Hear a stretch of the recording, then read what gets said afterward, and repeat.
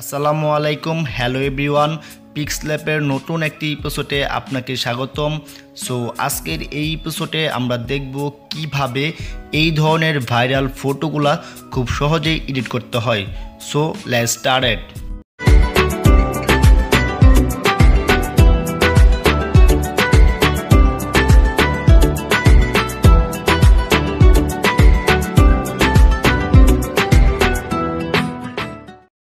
all right ফার্স্টে আপনাকে পিক্সলেপ software open করতে হবে। লিঙ্ক ভিডিও ডেসক্রিপশন বক্সে দেওয়া থাকবে।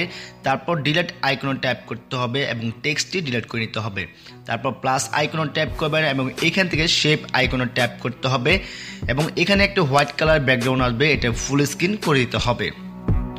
তারপর স্কল ডাউন করবেন এবং এইখান থেকে আপনাকে কালার আইকনে দেখতে পাবেন। আপনার মন মতো যে কোনো একটি কালার সিলেক্ট করে নিতে পারেন।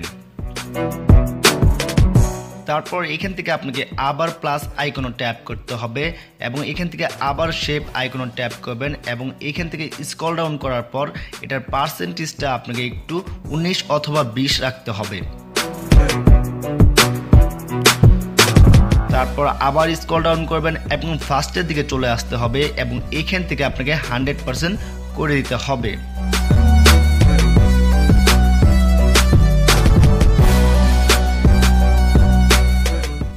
তারপর এখান থেকে আপনাকে আবার প্লাস আইকনে ট্যাপ করতে হবে এবং ফ্রম গ্যালারিতে ক্লিক করতে হবে।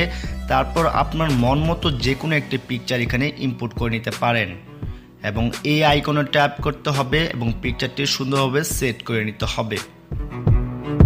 এবং আপনি যদি চান পিকচারের পরিবর্তে স্টিকার অ্যাড করবেন, তাহলে এখান থেকে আপনাকে টেক্সটে চলে আসতে হবে এবং এখান থেকে আপনাকে এ আইকনে ট্যাপ করতে হবে এবং এডিট আইকনে ক্লিক করবেন, তারপর এখান থেকে স্টিকার আইকনে ট্যাপ করতে হবে এবং মন মতো যে কোনো একটি স্টিকার এখানে অ্যাপ্লাই করে নিতে হবে।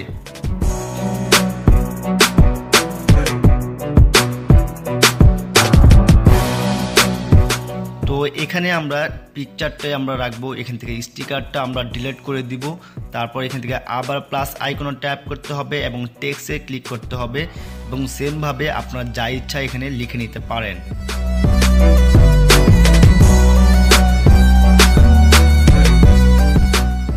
তারপর এখান থেকে আপনাকে স্কল ডাউন করতে হবে এবং চলে আসতে হবে ফ্রন্ট আইকনে তারপর এখান থেকে মাই ফ্রন্টে ট্যাপ করবেন। তবে এখানে কিন্তু আপনার মাই ফ্রন্ট কিছু থাকবে না। তো এই ফ্রন্টগুলো কীভাবে আপনি ডাউনলোড করবেন এবং কীভাবে এই সফটওয়্যারে ইনস্টল করবেন তা আপনাকে ভিডিও শেষে বলে দেওয়া হবে। তো এখন আমরা যে কোনো একটি ফ্রন্ট অ্যাপ্লাই করব। তারপর সেম প্রসেসে আপনাকে আবার প্লাস আইকনে ট্যাপ করতে হবে এবং বাকি যে টেক্সটগুলো লেখার বাকি আছে, আপনার মন মতো এখানে লিখে নিতে পারেন।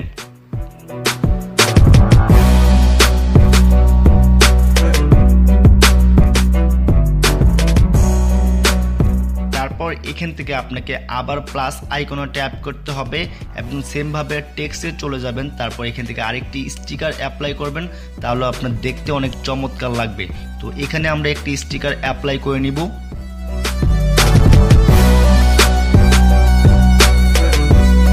প্রপারলিভাবে কাজটি করতে পারলে আপনার পিকচারটা হবে ঠিক এইরকম। তো এই ফ্রন্টগুলো কীভাবে ডাউনলোড করবেন, কীভাবে অ্যাড করবেন, তার জন্য আপনাকে এই ভিডিওটি দেখে নিতে হবে, যা আমি ইন্ড স্ক্রিনে দিয়ে রাখব, চাইলে দেখে নিতে পারেন। তারপর সেভ করার জন্য এই আইকনে ট্যাপ করতে হবে এবং সেভ করে নিতে হবে।